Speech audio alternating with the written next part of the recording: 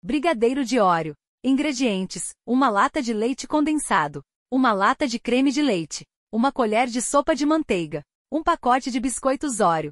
Modo de preparo: tire o recheio do biscoito e reserve. Após triture os biscoitos sem o recheio até que fiquem bem moídos. Em uma panela, adicione o leite condensado, creme de leite o recheio do biscoito à manteiga. Leve ao fogo baixo e mexa sem parar, até a mistura desgrudar do fundo da panela e atingir o ponto de brigadeiro. Adicione o restante da bolacha triturada e misture bem. Desligue o fogo e deixe a mistura esfriar por alguns minutos. Com as mãos untadas com manteiga, faça bolinhas com a massa e passe-as em mais biscoitos óleo triturados. Coloque as bolinhas em forminhas de papel e sirva.